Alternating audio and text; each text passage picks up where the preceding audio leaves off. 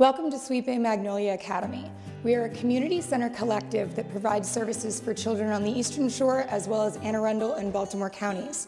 We serve ages birth to 16 in a number of different ways. Part of what we offer here at Sweet Bay is a behaviorally focused daycare for ages 2 to 5. We serve both neurotypical children and children who just need a little extra support in the early years. Sweet Bay Magnolia Academy is also home to an applied behavior or ABA analysis company. We co-treat with other therapists. We have a speech therapist, an OT, a child psychologist, 24 registered behavior technicians on staff, and all of them co-treat. And with our younger kiddos, we work on social skills, verbal behavior, and becoming more in tune to their environment.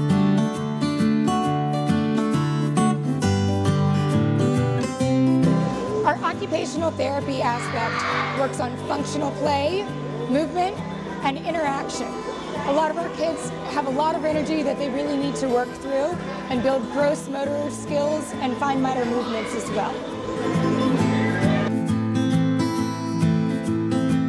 At the center, we have a reading specialist who provides tutoring in the Orton Gillingham program, which is a specialized reading program for kiddos who just need a little bit more assistance in understanding the greater aspects and the foundations behind reading.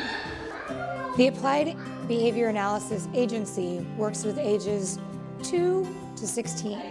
In some of those ages, it looks like compliance, time on task, social behavior. But each child has one of our BCBAs develop a specialized individualized plan specifically for them and their goals. The Academy also houses a non-for-profit homeschool co-op program for children with learning, behavioral, and emotional differences. This is Brian Tyler, who's our Director of Education for the Homeschool Co-op, and he's going to tell you a little bit about the activity they're working on today. Brian works hard to foster engagement excitement about school, and intrinsic rewards associated with participating in a school environment for kiddos. So we're currently working on our STEM activity. We have a STEM challenge. We are building bridges and cars using popsicle sticks and other wood materials to see if they can build a project that can support the weight of the car across two desks.